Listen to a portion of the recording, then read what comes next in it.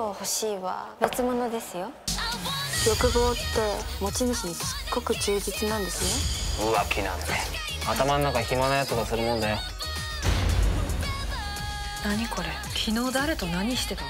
荒子はやめた方がいいです。かなさんのことが好きです。立花さんって本当は何考えてんだろう？私は解放してあげたいんです。あなたは私に落とされたい。私が欲しくなっちゃいました。